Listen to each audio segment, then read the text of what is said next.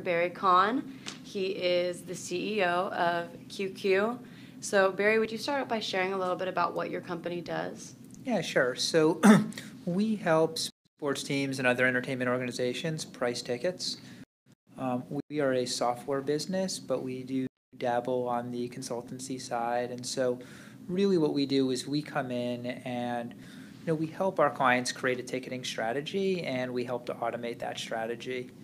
Um, so, you know, an end consumer would never deal with Qcue; they wouldn't know who we are, but you know, they would still buy tickets through Ticketmaster or various other ticketing systems. But we kind of interface between the ticketing system and the teams to help manage pricing of tickets.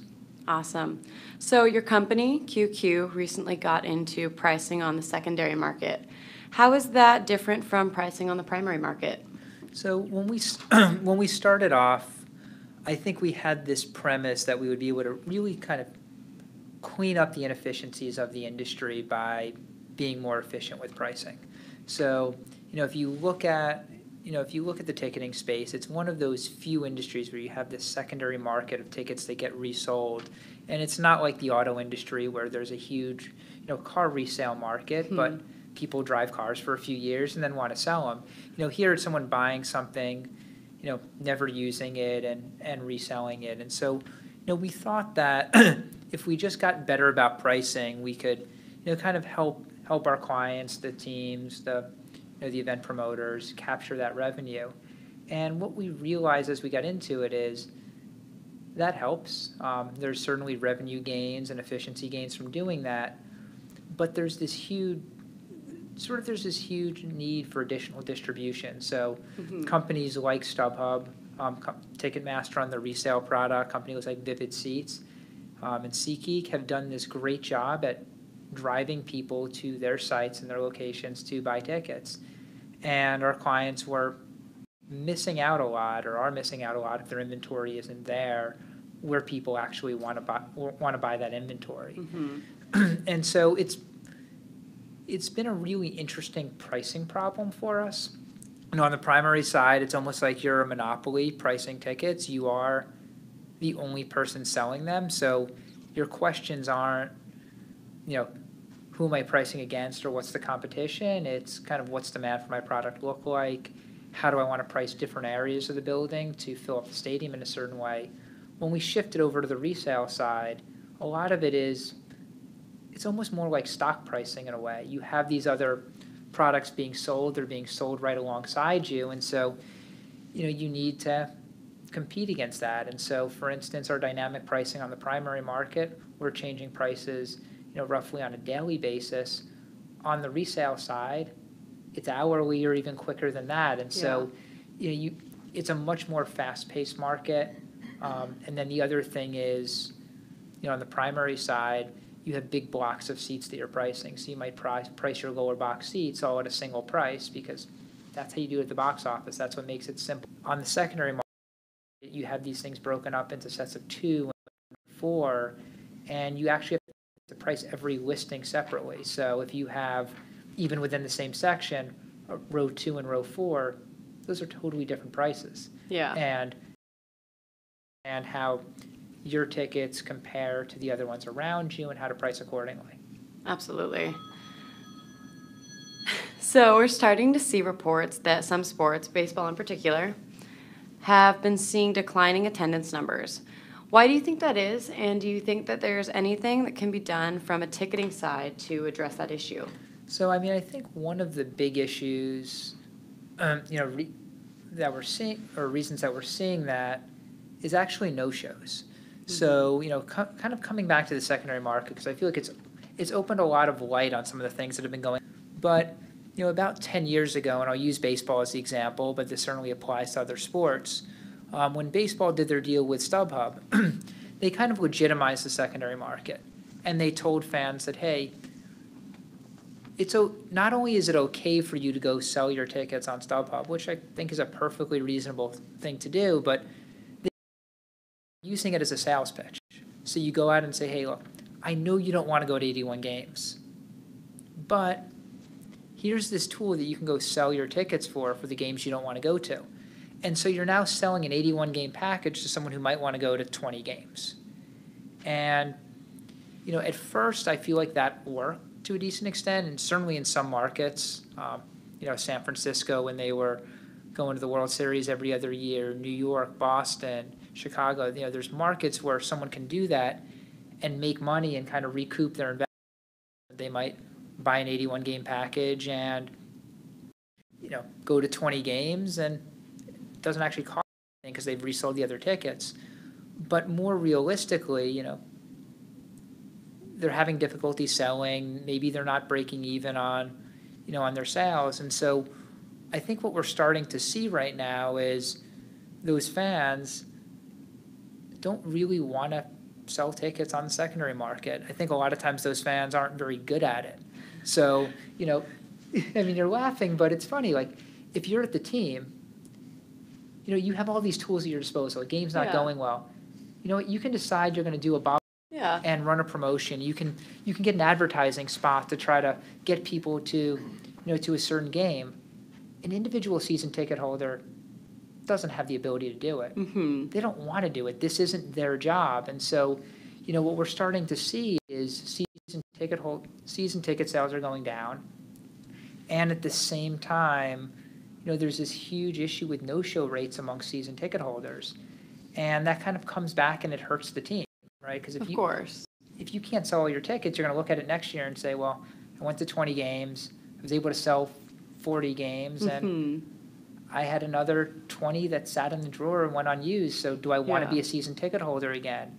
And so you're starting to see this drop in in season ticket sales across the board in addition to these no-show rates. And so I, I mean, I think there's some teams that are doing some really smart things. Mhm. Um, the Mariners, you know, here in town have one of the better exchange policies that I've seen. And so, you know, they let you, if you're a season ticket holder, anytime 48 hours before the game, you can return that ticket and get credit on account to use during the, later in the season. Oh, I season. did not know that. Yeah, it's- so it's, they actually have season ticket holders who've moved away, who don't want to lose their seats, who will buy the season ticket and exchange all 81 games. Oh, wow. And then, you know, when they come back, if they're back in town for a week, you know, they'll use, they'll bring a bunch of friends, go to Yeah. one game. You know, you could even do something like buy a suite with that. And so it kind of creates a better experience for those season ticket holders. And then the team has the ticket, so they kind of know what's going on and can sell those directly to fans. Yeah, well, and it definitely is, you know, you and I spoke earlier and about how much something like a sporting event is about the experience. And we had talked about, um, you were telling me about how there are fewer and fewer at small events and an increased amount at the large events. Yeah, I mean, it's because we look across sports right now, you know, you see, you know, a lot of times, you know, empty stadiums during during the season, and you know, the games that nobody wants to go to, they get smaller and smaller, and the big events get bigger and bigger. I mean, if you looked at the World Series last year and what tickets were going for, you know, had Los Angeles and in the if you look at a Super Bowl, you almost can't price those tickets high enough. Um, and people are still going to come. Mm-hmm. But the games people don't want to go to, I mean, it's the same thing on the music side. When people don't want to go and there's not a lot of interest, you almost can't give them away. And so, I mean, I think the other thing about it, and I've, I've heard some interesting, you know, comments on this, on this side, is sellouts breed, breed sellouts. And so when you have, when you're sold out and when people know the stadium's full, it creates a certain vibe and atmosphere Yeah. and people want to go to that. You know, I think like Duke basketball is a good example. Ever they have this tiny stadium. Remember, remember listening to to Nate Silver talk about that, and you know, and I kind of agree with the idea of having these smaller stadiums Mhm. because if you can be sold out, you create that atmosphere. People want to be there. They feel like they're a part of an experience, and Yeah. that's what people want. People want to be involved, and they want to. They don't want to miss out. They don't want to miss out on the event that everybody's going to be talking about, that everybody's going to be posting about. When we live in a day and age where everything is so social media um, based. Yeah. And so, yeah, you know, you have those smaller events, and if you're filling that out, then it's going to be talked about. Exactly. And the, uh, but on the other hand, you go to a stadium and there's three thousand people on a forty thousand. You nobody walks around and feels like I have to be there. Yeah. And people kind of start saying, well, I don't necessarily want to be there. And so one of the things we actually try to work with our clients on is in these low demand situations, how do we adjust prices so we can kind of create that feeling of being full, hmm even if you're not full? So that could be something as as simple as kind of flattening out prices, so not having as big a price discrepancy Yeah. between your best seats and your worst seats, and try to, you know, again, just using baseball as an example, because we were kind of on the topic of, could you get everyone to sit downstairs and set price up in a way that incentivizes that? Yeah. And maybe the team makes, hope, hopefully can get people to kind of upgrade on their seats, even if it's a couple dollars. But they make a few more dollars from the people who are gonna come, and the fans get a much better experience out of it. Of course. And and as much as the fan experiencing, there's also that plays into it all like I think that they have a job seats. And obviously that'll affect them if that'll affect revenue and everything if they don't sell those seats. But what what about the effect that can have, do you think, on like the sport itself or on the teams? Um, that's an, that's an interesting one. I mean, I think, look, when you turn on a game and you see, you know, empty seats and it just looks empty, it, it doesn't necessarily feel interesting in a way. It I kind mean, of connects with it doesn't matter. Yeah. But I think, but again, I think we, we kind of live in a day and age right now where things either incredibly matter or they don't matter at all. Right. There's, there's like- not much of an in between. No, there's not. so, oftentimes, the price of tickets on the secondary market is not just less than the face value, but it's less than the season ticket price. What do you believe is driving that, and is it sustainable? Um, so, yeah, another kind of interesting question on that one. It's, you know, I think it is sustainable and it's not in a way. Um, if you look at when we when we started out and we started doing dynamic pricing, key our clients wanted, you know, they they want to protect that ticket holder, and so those circumstances, regardless of what was going on, could we go below that season ticket price? And that makes sense and that works as long as the team's controlling the pricing and the team's controlling the Mhm. inventory. You know, once you get this sort of resale market involved and the teams don't control it, and they don't control it, and at the end of the day, they don't as much as they try to, Yeah.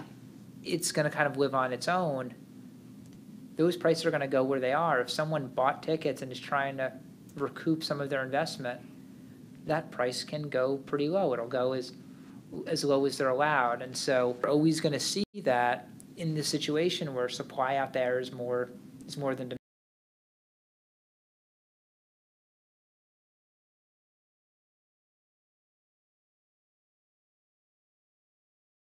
Baseball, partly because they make sure that, you know, their season ticket holders who don't want to go to games aren't sitting there reselling on the secondary. They're just giving the tickets back to the team, and so the team Mhm. can control what they, can kind of control that sup- flow of, of supply. Yeah, absolutely. And they can direct it where they'd like to. They can, you know, send offers out to fans that they want to bring in. Exactly, and I mean, I think the other thing that we've seen is this-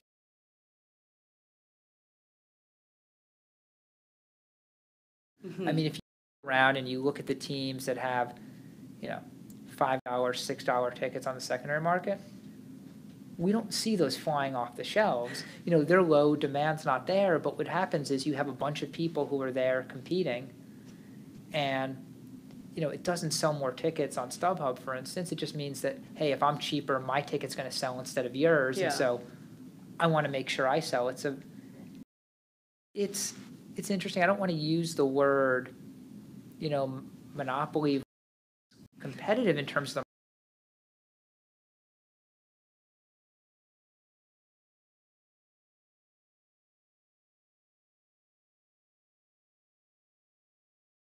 the is at some point, you know, some of the costs going into a venue are so high from the time it takes you to get there to how much it costs you to park your car Mhm. to All the hidden fees, yeah, just all the Getting a drink. extras. If you want to get a beer, or a hot dog, Any Yeah. of the extra things you want to do while you're there for the experience? Yeah, no, I mean, the, the one that blew my mind the other day was, um, I was in New York and, you know, took my wife to go see Book of Mormon. It was thirty. Like, I almost literally stopped dead. I mean, it was a double, but it's a one drink and you're just like, And there weren't flakes of gold in it? there were not flakes of gold in it. Maybe if I returned the cup after or something, it was, but it, it just, it just blew my mind. And again, in that situation, as strange as it was, I guess it worked for them. I mean, they had one bar in the place. The line was across was across the entire theater. I think I'd rather see more bars and reasonable prices. Um, Absolutely. probably creates a better experience, but I think they also know in a way of you're going to go to one show there, right? Mhm. That's very different than, you know, if you are the Seattle Seahawks here and you want people to come to 10 games a year. If you you don't want to take you can't take everything each game. Yeah. Right? Otherwise someone's not going to come back or mm-hmm. No, of course. You know, it's not. It's just a. It's a different industry. Like I had asked you earlier about the differences that you see kind of between sports and other forms of entertainment, and if uh, Qcue would look in, would do get kind of put their hands in more entertainment fields, and you were kind of explaining about those kind of major differences. Would you share some of those again? Yeah, Just sure. what- Kind And of why it's why you guys stick with sports. Sure. I mean, so there's a couple of reasons we stick with sports. I mean, one is one is the data. You know, you have these sort of repeating events, and you're able to collect more data and make more intelligent decisions on it. Um, a lot, if you get to the music side, becomes a bit more of a guessing game. You know, you're bringing, you know, you're bringing Paul McCartney to Seattle for his Mhm. one show in ten years. Like, how is it going to do? Pretty Uh, good. well, yeah, I'm sure it's gonna. Yeah, I, mean, I like the Beatles, so yeah, no, that's an easy one, right?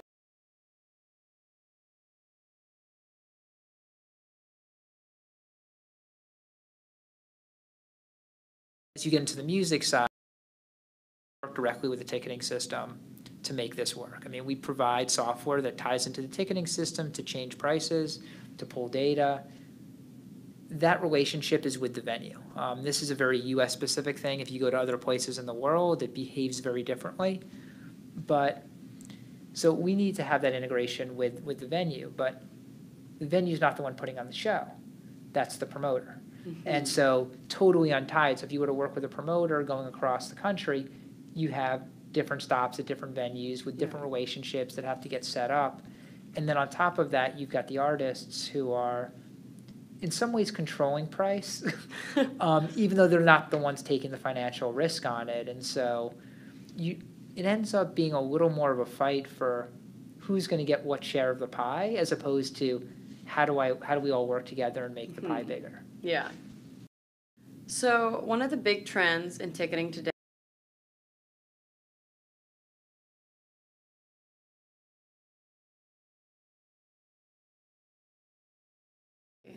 So, I mean, we kind of talked before about this notion of kind of competitive markets on the secondary versus monopoly. You know, broker consolidation has been an attempt to solve that.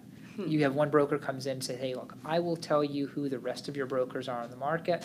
We'll clear out that inventory. We'll take it all. Mhm. And hey, if we're the only ones selling tickets on the secondary market, that we're gonna, you know, we'll make more money. We don't have to compete those prices. And, you know, to an extent, I think there is some, there is some benefit to that controlling it. You know, on the other hand, if you kind of look at it and if you're a team, there's a real question of, you know, what do you, what do you need this third party for versus doing this yourself? Yeah. And so I think there's clearly benefits to selling on all of these third-party channels, as I mentioned before. You know, StubHub and Vivid Seats and Seat Time have all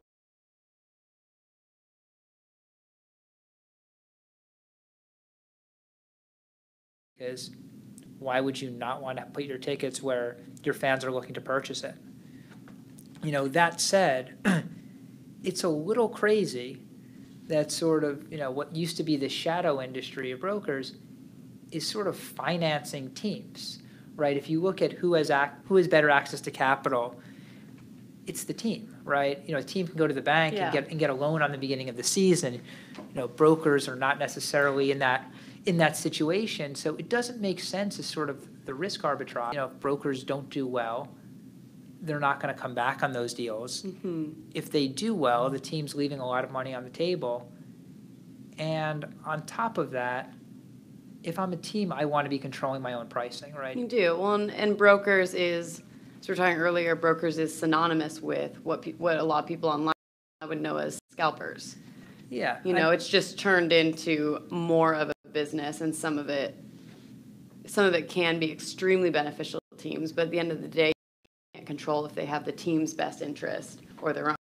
Yeah, I mean, I think the teams are ultimately going to know best how to sell their tickets. Mm-hmm.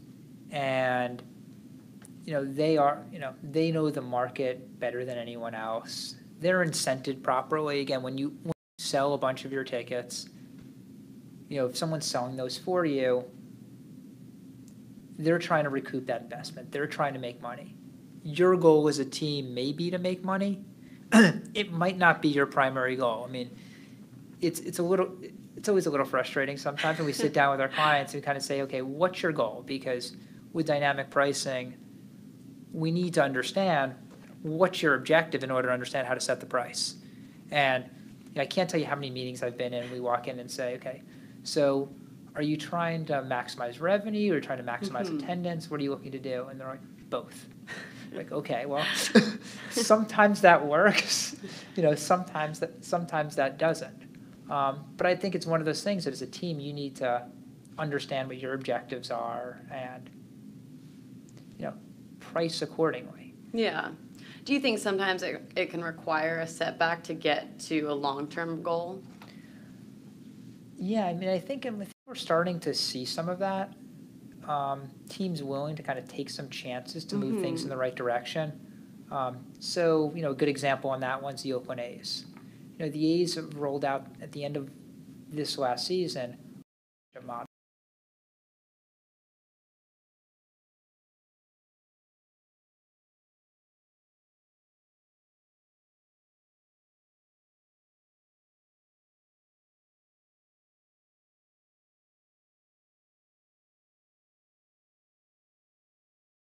background and be part of the experience. Experience, exactly. Exactly. And so they created an alternative to season tickets where you get access and, you know, depending on your membership level, there's different clubs that you can get into.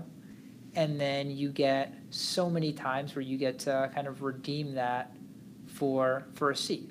So you don't have a seat, you're never going to resell that seat, but you can show up and you might get 20 kind of seat upgrades a year and you could say, okay, mm-hmm. look, this game I want the seat.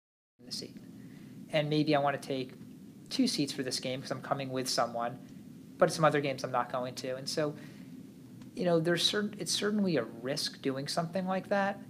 There might be some short-term, you know, revenue setbacks associated with that because, again, you can charge a lot for a seat for every- even if it's not exactly what.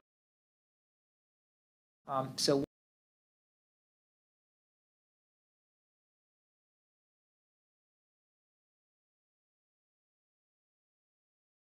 can make the venue the cool spot to be every time there's a game, then more people want to come. hmm Yeah, it's, it's, it offers more, it, you're receiving the experience you're paying for. Um, if you were on the team side, what would your top initiatives be related to ticketing and pricing? So, I mean, I think the top initiative right now is figuring out what that season ticket looks like. And, you know, it's somewhere, I think there is somewhere, I don't want to say between, because I think either model works, but something along the lines of that membership model um, would really help a lot of teams. Um, something along the lines of change policy I talked about with the Mariners would also help a lot of teams because right now what we're seeing is teams are selling a lot of tickets. You sell these things as season tickets and you no control once you do of what's going on. To be fair, you don't really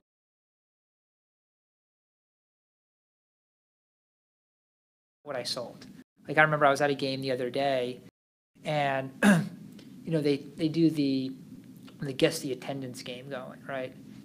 and it was like 36,000 was the answer. And there was maybe 20,000 people there. and I'm with the VP of ticket sales who's, and we're listening to people around. Some of the fans explain to each other, oh, yeah, no, that's, that's not how many people are here. That's just how many people have paid. And that's not a great experience, right? Like, you, Yeah. you don't want to, you don't want to hear your fans talking about that. So I think if you could clean that up, Mm-hmm. now you know what's going on. So I mean, you can't solve a problem Yeah. if you don't if you don't know it. And I think no shows right now on season tickets is really this big problem.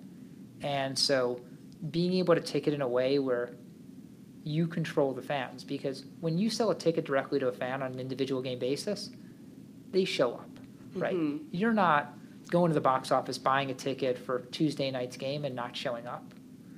So those are fans that you know you can count on. So if you can kind of create a situation where you're selling directly to fans, you know what's going on.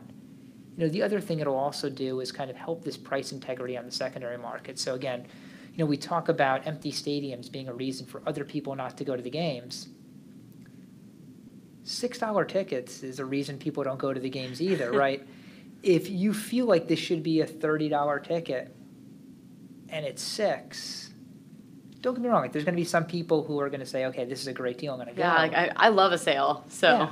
I get excited about that. But you, it has to make you wonder. If there's a look, if there's a limited capacity, if you see that all of the tickets are thirty dollars and you can somehow get one for six, that feels like a sale. That feels Oh, awesome. yeah. If you realize that any seat in the ballpark I can get for six, now you're like, there's not a lot of value to that, and it really kind of erodes the value over time and how people think about this, and people go from feeling like it's this valuable experience to it's not an interest. You know, it's Mhm. is it worth my time? Why am I going to pay twenty bucks to park for a six dollar seat at Yeah. the game? Entertain me. I mean, that is that is a. I think that's a, a thought process you see a lot of people kind of have now. Like, well, why would I pay to go have that experience when I have a TV at home? And they, they kind of lose track of like, wait, no, remember that amazing experience? You know, like what we were talking about when you're in a, a full stadium, a packed stadium, everybody's engaged, everybody's cheering for the team. That's the experience. Yeah, no, it's and it's interesting, and you have to you have to be at those, but people don't necessarily want to be at the other games, and so how do you how do you create that experience? I think every conference I I go to on sports, there's always a session on how do you compete with the TV at home.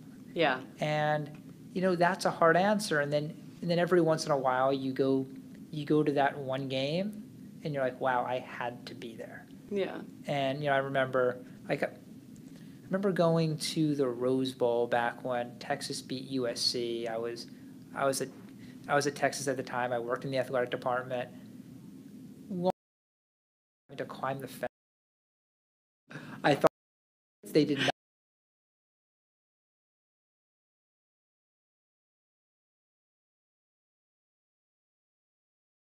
That was one of those games afterwards. It was like I had to be there. There was an there was an experience. There was an aura to being Yeah. there, and I think sports always has that. There's a but I don't know that we can create that for you can't create that for every game. And so what what can you create that makes people want to go and Yeah. Enjoy the experience and also feel like they get a good value out of it. Yeah. Like right, like when we were talking before, you were talking about the the minor league baseball team around here that you know you can go and you can hang out and for the cost Yeah.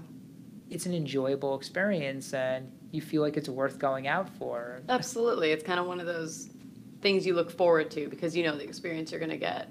So, just on the topic of, of what you were saying, would you, I know you do more of like the background work and you kind of help price those values, but what advice could you give to somebody on the sports marketing side of it to, uh, to help them sell that price? You know, if that's the price that they've been given, what advice would you give to somebody in marketing to to help promote that? I've never been on the marketing side in my life, so I'm gonna. Oh, But shoot! Oh, as, shoot. as somebody, yeah. I know I'm putting you on the spot here. This Yeah. is not something we talked about earlier. No, it's not, but But that's fine. as somebody who decides, in theory, you know, who puts data together to decide a value, what advice would you give to somebody who then has to go out and make somebody believe that that value is worth it?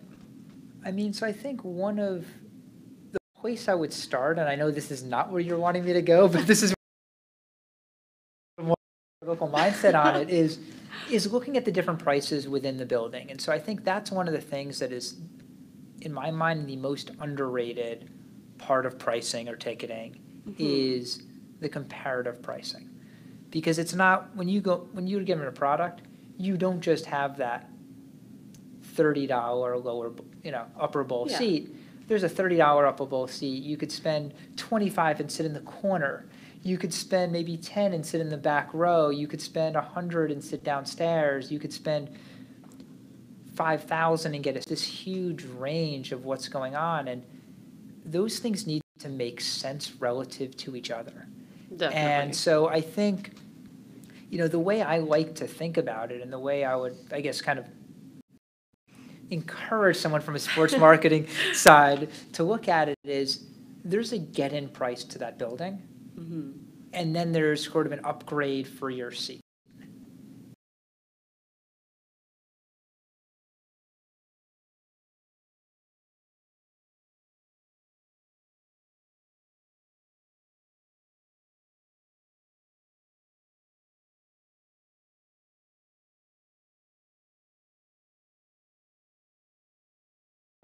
That's what you get for this, for this. And I feel like there's very few cases that I think that get in prices Mhm. out of whack with what the experience is. And so you're really kind of starting with that. And then the question is, you know, what's the upgrade and how does that make sense? And, you know, I think for different people, there's different answers, right? There's going to be people who. Budget's not an issue and premium experience and they Mhm. want to, you know, they away from the crowds. They want to be sitting courtside or in a box. And there's other people who, you know, want to get drunk with their friends and Mhm. which is often a lower ticket. And you know, I think trying to figure out what consumers are looking for, or talking to them, but really kind of frame it as, hey, what does it cost to get in the stadium, and what do you get for that, and then what more do you get in these other situations? Yeah. Season tickets have been a main part of team revenue for years, but times seem to be changing, and in many markets, there is a decline in season ticket sales. Do you think that they will continue to exist? And if not, how does that impact the pricing and selling of individual game tickets? So, I mean, I think, as you said, look, we're starting to see that decrease in season tickets, and look, it's it's been a question again for years. You hear people, are there, you know, are there going to be season tickets? And I think in certain markets, the answer is always going to be yes. I think college football, NFL, something with a ten game schedule, people can go to ten games. I think an eighty-one game baseball schedule is really tough to make that work. I think. Yeah, forty games.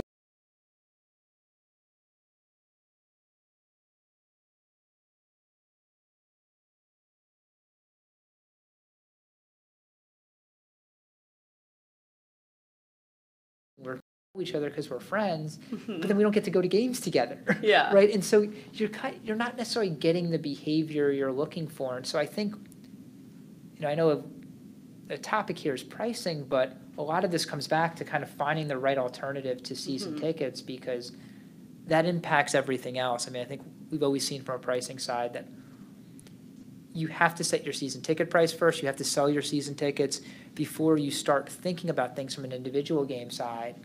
Um, figure out what the next generation of season tickets looks like. And I think there's a couple models out there. It might be one of those, it might be something else, but you know, those are going to change. But now that causes a huge challenge for staff, Yeah. right? you know, the nice thing, and again, I'll, I'll use baseball because it's the heaviest on this, is you know, when you have half your venue full on season tickets, it's a lot less inventory you've got to sell every night for 81 nights. Whereas Yeah. if you have 40,000 seats to sell for 81 nights,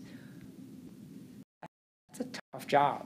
Yeah, That- I can imagine. That's a grind, you know, especially, you know, times of year people aren't, aren't as interested. And so, you know, I think, but I think that is what we're gonna see. I mean, look, that's why teams employ sales forces. It's, Mhm. it's also, by the way, why we're starting to see the newest wave of venues get smaller, right? There was a period of time where every new venue was bigger.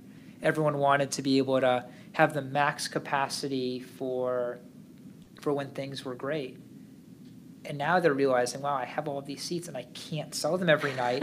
and by the way, when I can't sell them, as we said before, when it's empty, people don't feel the need, don't feel the need to come Mhm. because they're always going to be able to get a ticket at some later point. It's not going anywhere. Exactly.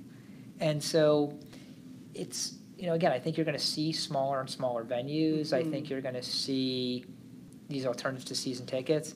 You know, the one thing I've always want, I've been trying to push on, I kind of always wanted to see was, you know, like Major League Baseball teams take a couple games, play them in a minor league ballpark. You know, make the season ticket package a little smaller, but then also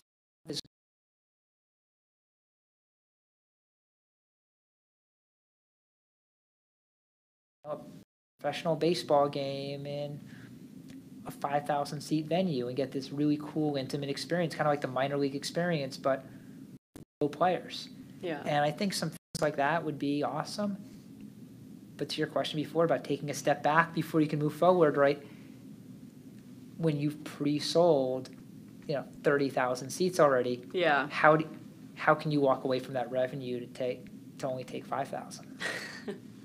So I know earlier we, we had touched on this a little bit, but social media, you know, it really is so rampant in this day and age. And I'm just curious, how does social media, if it does play a role, how does it affect both the data that you collect and then um, the prices that we see?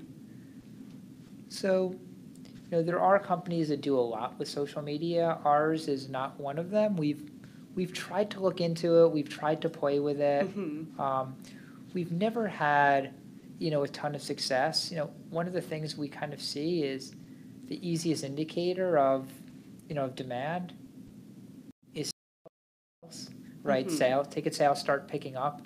You know, again, especially, I think it's a little different on the music side than it is, you know, on the sports side, right? Like on on the music side, you can look at, you know, how much interest is Taylor Swift in Seattle and get a kind of a gauge on ticket sales or see those types of things trending. You know, if we see the Mariners are trending, well, does that mean Tuesday's game's going to be good? Wednesday's game's going to Yeah. be good? Saturday's game's going to be good? You know, there's too much, and it's hard to kind of distill There's a lot of you know, variables. what's going on, and but you do see that with ticket sales. And Yeah. so, you know, we we drive a lot of our of our algorithm based on the sales data we see. You know, we all when it's available, how those sales fluctuate, um, which is also, you know, a pretty good indicator. You know, the other thing, and again, I think this is changing a lot right now, but when we started, when you sold a ticket, the way you sold it was you put a, you put a ticket, you know, you listed it on your website, you put it on your box office. There was no way to distinguish between two different people. Um, I think there are some better tools out there for sort of discriminating between buyers and being able to charge one person one price and another person another price. I'm not sure that we want to go in that direction. I mean, being in Seattle, I remember when Amazon, you know, kind of tried to do some things like that, and people realized that for being a frequent customer, they were getting charged higher prices, and that did not go over terribly well. Um, and so, I, again, I don't think teams necessarily want to do that, but you know, the way I think again you have to start doing that on the team side is not by charging two different people two different prices for the same product, but figure out what Definitely. for that person. Definitely, and that's going to be different. That's going to vary by demographic.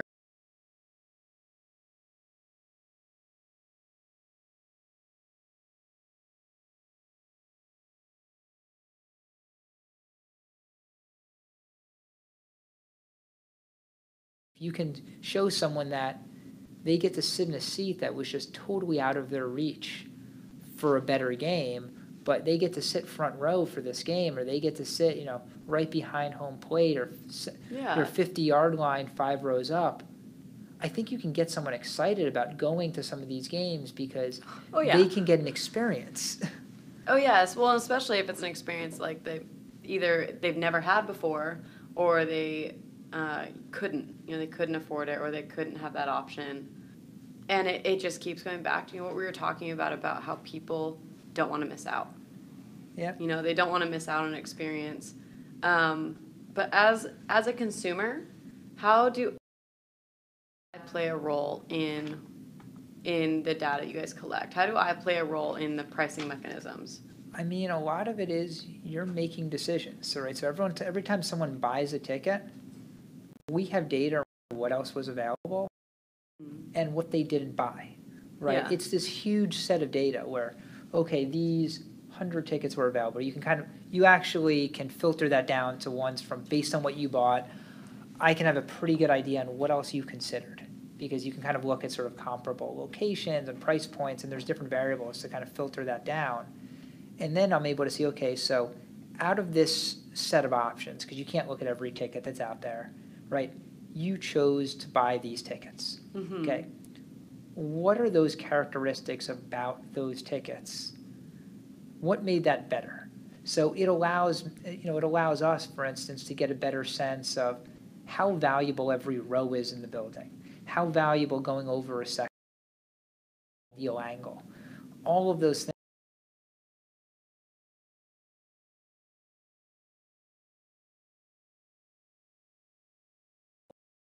And, and that helps us kind of build our models on the world, or at least on the stadiums. And, and from The that. sports world. The sports world, yeah.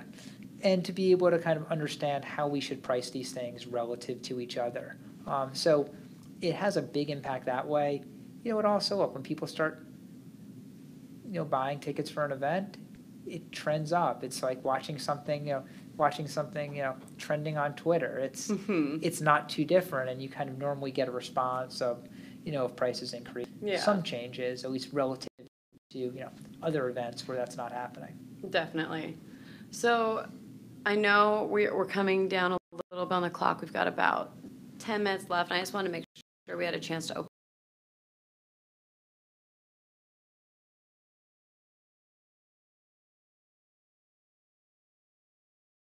tweaked it. You know, the Mariners and the Stars and the Mavericks, those three particular teams had, have had, uh, secondary tickets for three to six dollars in the last year, year and a half. Um, What do you see?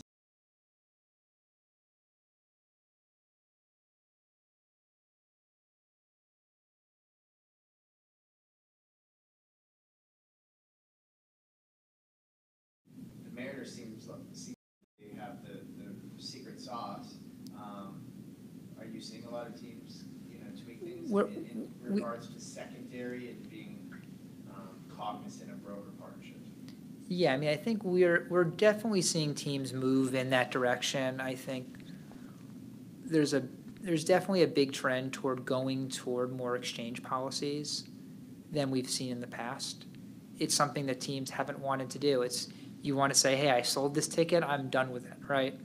So, You know, you commissioned your salesperson, this ticket's gone, don't have to worry about it anymore. The problem is, we're seeing, you know, we're seeing season ticket holders not renew because, you know, they're not getting good returns or they're having difficulty selling their tickets on the secondary market. So that hurts your renewal rates and hurts your season tickets the next year. And then, as you said, how do you sell against that? Right? You have tickets at the box office that you can't discount to that level, and you have this flood of inventory on the secondary really cheap. You can't compete against it. Like, I remember when we started in this business, you know, teams had big walk-ups. We worked with the Stars, and I mean, the Stars had a relatively small walk-up in comparison, but you still you're expecting hundreds to thousands showing up on game day at the box and that's that's all gone. Um, it's very very rare because people can go to the secondary; they can get things cheaper, and so I look if I was on the team side, I wouldn't want to have this direct competition. I would look at it and say, look, I'd rather sell my own inventory and manage and control the price. Because again, I think before it was really easy to say, sold this ticket in the secondary market lives somewhere totally out. And it doesn't matter what happens there, I'm still gonna sell when gonna sell in the primary. But we've pushed consumers so far to the secondary, you can't do that anymore. There are a lot of people that cross shop, there's people that don't even think to look at the primary market.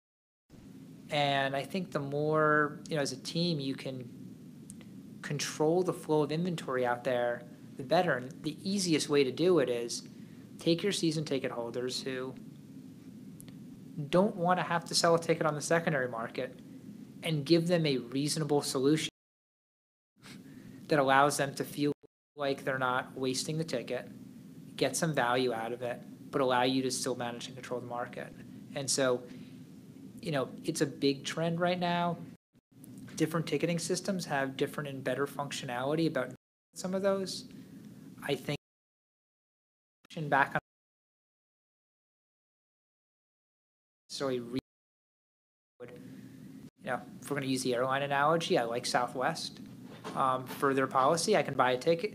If I don't go, I keep the cash. I have some time period to use it, and but there's no change fee or things like that. I think that's a, probably a better model in the ticketing space than making them exchange that ticket directly into another ticket because how do you manage that process? How hard and complicated is that? And by the way, I want to let someone who, you know, is is a season ticket holder, and if, you know, if you're, you know, you've got a college program, you've got upper deck tickets for ten games, and they're not going to go to five of them, and they want to have, you know, take a group of friends and sit downstairs for that last game. Like they should be able to do something like that. Like, why not give them the flexibility if you have the inventory? Anybody else? Yes. Question, so what I've seen a lot in the past three or four years is kind of uh, a shift, understanding, I guess, general retail economics, I would say, because we look at sports as tickets as emotion, the reality is we're selling a product online, models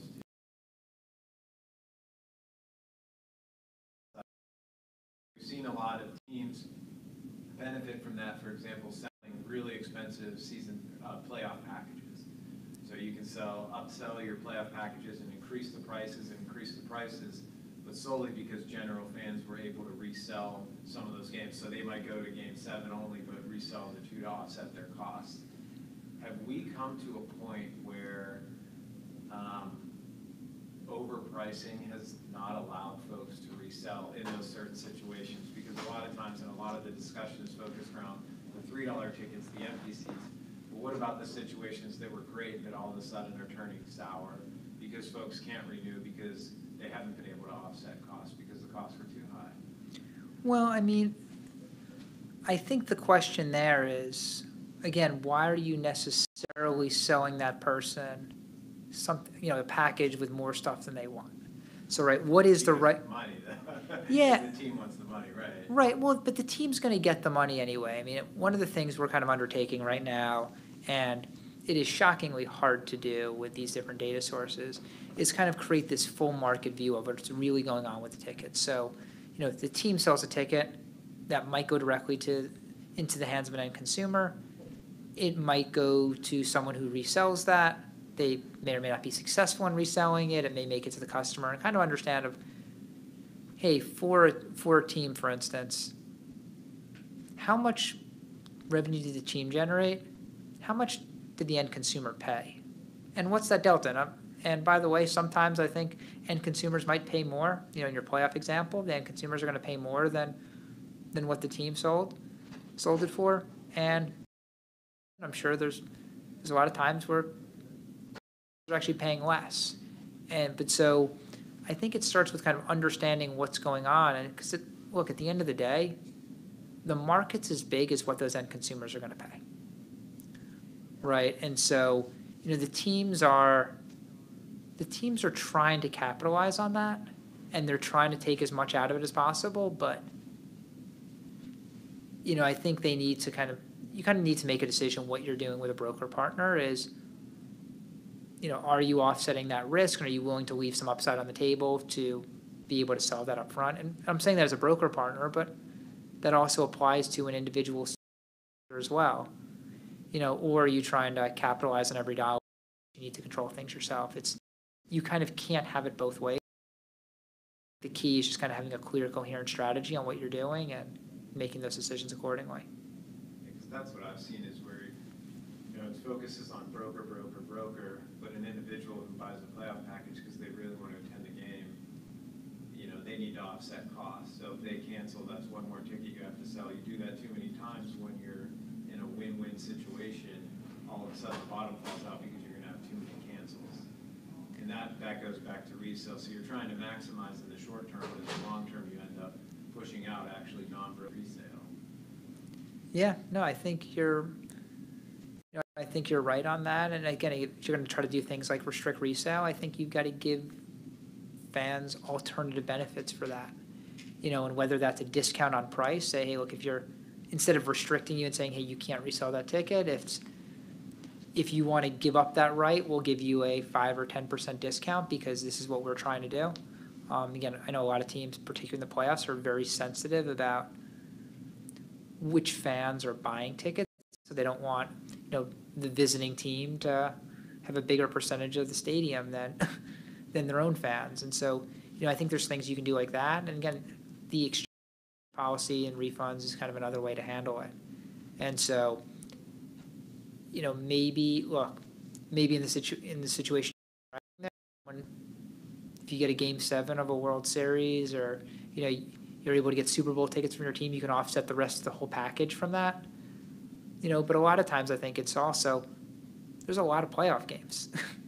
You know, can you really afford to spend that much per game for that many games and maybe offering some, you know, smaller packages of a game around is, is kind of the better, uh, the better way to go there. But I think a lot of it comes back to, again, trying to sell right product to the right person for the right price. And there's, I don't think there's a magic answer on what that is, but that's sort of what needs to be figured out on the team side. All right, so that is all we have time for today.